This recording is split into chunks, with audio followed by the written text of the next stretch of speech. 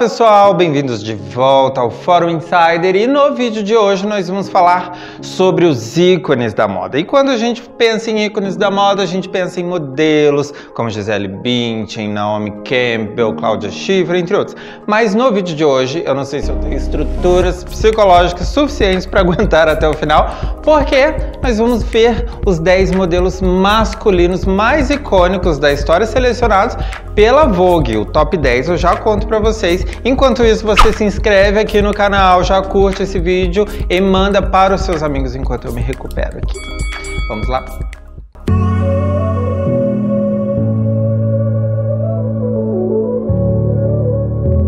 Em décimo lugar está Matias Lauritsen.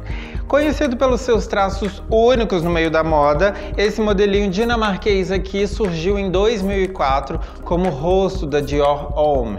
Ele resolveu ficar longe do mundo pop, celebridades e tudo mais, e ele é mais conhecido ali no meio fashion mesmo. Não é conhecido do grande público, mas ele faz tudo. Ele vai de Salvatore Ferragamo Lacoste, de Calvin Klein a Dior, ele tá em praticamente todas as campanhas do mundo da moda.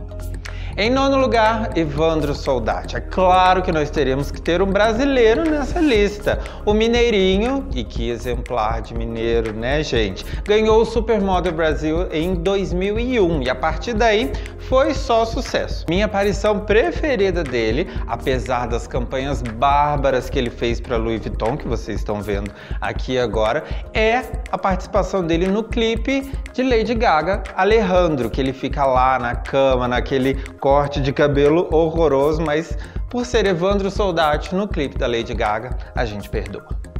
Em oitavo lugar, Noah Mills. Esse mocinho começou a carreira lá no início dos anos 2000, quando começou a desfilar para Yves Saint Laurent e Gucci, por exemplo. A partir daí, foi só sucesso, desfilando para Bottega Veneta, Dolce Gabbana, Tom Hilfiger, entre outros. Mas ele ficou conhecido mesmo do grande público lá em 2010, quando ele participou do filme Sex and the City 2. Ele era o interesse romântico, um dos muitos interesses românticos da Samantha, personagem de Kim Cattrall, que era uma... Biscate é uma palavra forte? Ninfomaníaca? Devoradora de homens? Estamos sem uma palavra para definir a condição de Samantha, mas ela gostava de homens modelos como Noah Mills. E aí ele fez uma participação do filme. Dez anos depois ele continua super ativo no mundo da moda e também nas telinhas, que agora ele está participando do novo projeto mais recente da Marvel, Falcão e o Soldado Invernal. Em sétimo lugar, Mark Vanderloo. Talvez você não esteja familiarizado com este nome, mas com certeza você já viu este rostinho em free shops de aeroportos, por exemplo, devido às icônicas campanhas que ele fez para o perfume Eternity da Calvin Klein, que estava está até hoje, né, em todos os lugares e para as fotos bárbaras também que ele fazia para as campanhas da Hugo Boss que vocês estão vendo aqui. Mas o status de super mesmo veio anos depois com o filme Zoolander. Dizem as más línguas que o filme foi todo baseado nele. Sabe aquele filme do Ben Stiller, que ele interpreta um modelo masculino bem caricato, bem comédia pastelão de sessão da tarde? Mas enfim, o filme até ganhou sequência, ficou bem famoso. Bom, dizem que é baseado no Mark porque Mark Vanderloo foi o primeiro modelo a receber o título de top model masculino. E aí por isso dizem que o filme é baseado nele. Em sexto lugar, Marcus Scheckenberg. Esse suíço, por isso o nome difícil, Scheckenberg, foi descoberto por um olheiro enquanto estava andando de patins pela Venice Beach. Essa passeada de patins inocente o levou, algum tempo depois, a estrelar as campanhas icônicas e ousadíssimas, porque ele estava quase pelado, né, da Calvin Klein. Inclusive, a Calvin Klein, no começo dos anos 90, até hoje, faz campanhas super ousadas. A gente tem um vídeo aqui no canal que vai estar em um card para você dar uma olhada depois. Bom, após essas polêmicas aparições para Calvin Klein no início dos anos 90, ele teve depois uma carreira muito mais consolidada, aparecendo para Versace, Donna Karan e Armani. Em quinto lugar, Sean Oakley. À medida que a gente avança nessa lista, fica mais difícil respirar. Enfim, Sean Oakley é o típico menino mocinho que tem um carão, sabe? 10 entre 10 pessoas dão nota 10 no quesito beleza para ele. Ele foi descoberto por um olheiro no MySpace, os mais novinhos, desde que Titio explica, era uma coisa irmã do Orkut, antigo Facebook, Instagram, enfim, uma coisa lá de 20 anos atrás. Logo após ele ser descoberto, ele já apareceu em anúncios da Bottega Veneta e Armani e desfilou para Yves Saint Laurent e a D-Square também.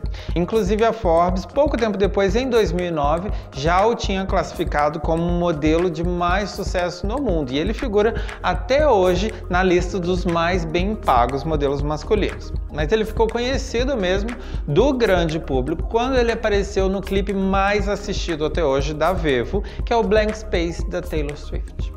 Quarto lugar, John Cartagena. Esse espanhol que teve uma estreia bombástica em 2004. Ele tinha ido assistir um desfile junto com um amigo que tinha convidado ele. E meses depois, descoberto por um olheiro naquele desfile, ele já estava desfilando em Paris para John Galliano e em Milão para Giorgio Armani. Corta Arena é o que os modelos masculinos têm mais próximo de um sex symbol. Basta olhar para as campanhas absurdamente lindas que ele fez para Guess e outras também igualmente sexys e provocadoras, que é a marca registrada de Tom Ford, como essas que vocês estão vendo. Tom Ford, inclusive, que é amigo de John e o chamou para participar de um filme que ele ia dirigir. Sim, um filme para cinema mesmo, que se chama Direito de Amar, foi em 2009. Esse filme foi super sucesso, estreou no Festival de Veneza, inclusive levou uma indicação ao Oscar. Hoje, John, com 35 anos, além de continuar atuando na moda, ele pode ser visto na série da Netflix Alto Mar. John, meu preferido. Em terceiro lugar, chegamos ao pódio com Brad Kranick, ele que dominou por anos a Chanel, ou mais especificamente Karl Lagerfeld, né? Que foi descoberto por ele em 2003. Bom, o Brad começou a carreira em 2002 em anúncios da Abercrombie, como vocês estão vendo aqui, eram bem sugestivos. Mas Carl descobriu ele em 2003 e logo levou ele para Lanvin, que também era dirigido por ele. E daí é história. Lanvin e Chanel foi alternando na carreira de Brad. Brad desfilou inúmeras vezes para Chanel e até que uma vez em Dallas ele desfilou com o filho dele, o Houston. E a partir daí o filhinho dele também começou a ser o modelo oficial da Chanel, desfilando para a marca várias vezes. Lagerfeld também produziu um livro baseado na vida do Brad, chamado Metamorfoses de um Americano. Em segundo lugar, temos David Gandhi, o chamado Dolce Boy. Esse apelido Dolce Boy veio pelas inúmeras participações que ele fez para a marca Dolce Gabbana. Vocês provavelmente devem lembrar do vídeo que ele fez o perfume Light Blue, em que ele está num mar azul, nadando num barquinho, com um olho azul combinando com o tom da cor do mar, uma sunga branca. Hashtag falecida. Aqui. Mas ele ficou por anos como garoto propaganda da Dolce Gabbana. Ele também foi o único modelo masculino a aparecer na cerimônia de encerramento das Olimpíadas de 2012. Lembra? Quando vários modelos saem de caminhões, tinha Naomi, tinha Lily Donaldson e tinha o David Gandhi lá no meio também. Hoje, com 41 anos, ele figura em várias listas dos modelos mais bem-sucedidos e também está entre os mais bem pagos do mundo. Em primeiro lugar está o deus dos modelos Tyson Beckford. Esse nova-iorquino que nasceu no Bronx pode agradecer as suas raízes panamenhas, jamaicanas, chinesas e africanas por esse look único, essa estrutura óssea que ele tem maravilhosa. Logo no início da carreira, ele chamou a atenção de marcas grandes como a Gucci, Tommy Hilfiger e Calvin Klein, e por anos ele dominou todos os catálogos e desfiles masculinos. A revista People também colocou ele entre as 50 pessoas mais bonitas do mundo. Ele é um dos poucos modelos fashion que fez a transição do mundo fashion para se tornar uma celebridade, porque ele já atuou na, no cinema, na TV, em vários clipes musicais, em vários programas de TV também. Não sei se vocês lembram daquele clipe icônico da Britney Spears, o Toxic, quando ela tá com aqueles cabelos vermelhos e cai numa motinha. Quem estava dirigindo a motinha? O Tyson. Ele também apareceu no icônico Unbreak My Heart da Toni Braxton, que ele era o par romântico dela e rolava todo um drama e ele lindo lá aparecendo no clipe. Eu acho que a música fez sucesso por causa dele especificamente. E mais recente agora ele apareceu também no Infinity da Mariah Carey, que, ele, que ela conhece ele pelo Tinder, e aí é um dos interesses românticos da Mariah no clipe. Bom, hoje aos 50 anos de idade, ele continua super requisitado pela indústria, aliás, por todas as indústrias, da moda, da música, do cinema e tudo que ele possa emprestar essa beleza incrível que ele tem.